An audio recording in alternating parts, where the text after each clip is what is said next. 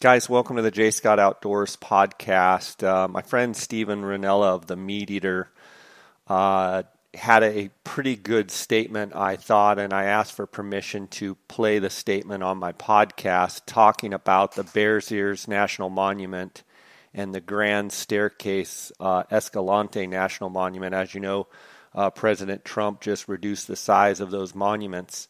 And I thought, uh, Steve, uh, although we don't agree on all issues uh, or every issue, um, I thought he had a pretty good take uh, on the Bears Ear National Monument and Grand Staircase uh, National Monument reduction. So enjoy it. if you want more from Steven, obviously you can go to meateater.com. You can listen to the Meat Eater podcast and, of course, uh, the Meat Eater t- television show, uh, which is on Netflix. And I appreciate his take, and I appreciate you, you, you guys' support of this podcast. At Meat Eater, we've been getting flooded with comments and questions about the Trump administration's decision to drastically reduce the size of the Bears Ears and Grand Staircase Escalante monuments.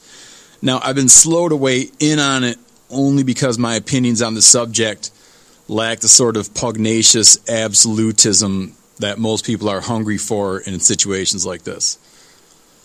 But I'm disappointed with the decision. The two monuments protected hundreds of thousands of acres of pristine wildlife habitat that was open to hunting and fishing. Now, many hunters have pointed out that hunting and fishing rights on these lands were tenuous, and there's some truth to that. We've had other monument designations that eventually resulted in hunters being locked out of lands that they had traditionally utilized. Now, I would have liked to have seen this problem addressed through absolute assurances that hunting would continue in perpetuity on the monument lands and that state level wildlife managers would have autonomy to do their jobs as they see fit. And while this move certainly takes steps to address those concerns, I view it as an overcorrection. If you're running around saying that Trump stole my land, you're not being accurate with your words. The ownership of the land in question is not changing. Nothing that was private becomes public with the monument designation, and nothing that was public becomes private with the undoing of the designation. What is changing are the management priorities of the land. For now, it's going back to what it was about a year ago when it was established as a monument by President Obama on December 28, 2016. That's a significant thing for sure, but let's stay true to the facts on this. There's a fear among conservationists that much of the now former monument will be converted into an industrial landscape.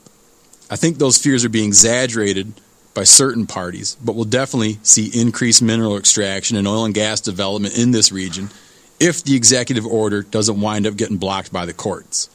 But does this mean Armageddon for the land surrounding Bears Ears? I doubt it. A more reasonable concern is what this might mean for other national monuments.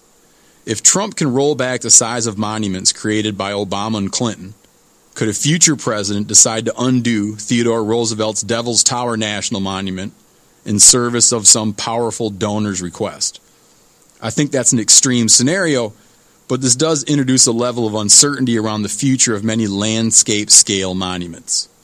We'll have to wait and see how it plays out. Looking from a sky high vantage point. It's helpful right now to imagine hunting and fishing as a resplendent estate with a beautiful mansion and an equally beautiful grounds.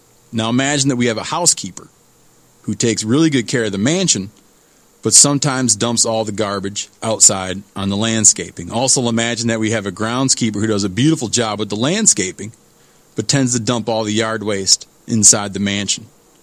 That's a good way to think of the relationship that our two political parties have with hunting and fishing right now.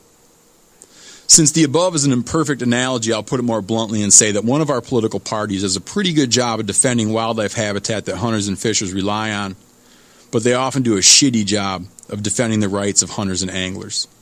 Our other political party does a great job of defending the rights of hunters and anglers, but they often do a poor job of defending wildlife habitat. The problem is there are no other job candidates out there. We can't punch the groundskeeper in the nose over the yard waste problem and punch the housekeeper in the nose over the garbage problem. Instead, we have to convince them both to work in harmony in the upkeep of the estate. In order to spread the criticism fairly, I'll point out that we have a similar problem with our conservation groups. Half of them work closely in support of the housekeeper to make sure the job is getting done right, and half of them work closely with the groundskeeper. I believe that all these groups do have betterment of the estate in mind, but their efforts create some mutual tension. While a lot of sportsmen have been deeply concerned about Bears Ears over the last few days, which is understandable, I've also been reading about the new governor of New Jersey, who actually campaigned on the promise to end the state's bear hunting season. And then there's a politician in Arizona who's put together legislation to end bobcat and mountain lion hunting in his state. Last fall, Montanans had to go to the ballot to defeat a measure that would have banned trapping on public lands. Thankfully, they easily defeated it. To return to the idea of hunting and fishing as a resplendent estate, we're always defending the borders from something. It was the market hunters in 1900. After that, it was unfettered environmental destruction. Right now, we've got a new handful of problems coming from different directions. I have confidence that we'll come out on top, but it's going to take persistence, creativity, and continued diligence.